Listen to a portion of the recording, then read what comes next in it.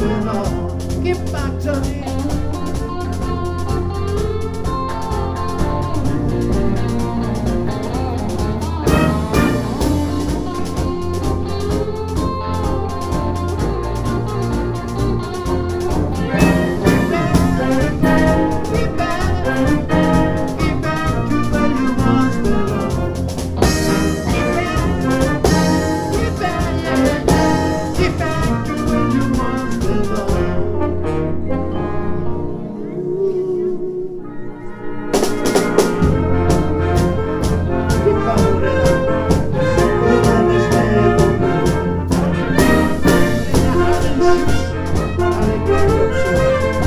Follow it up.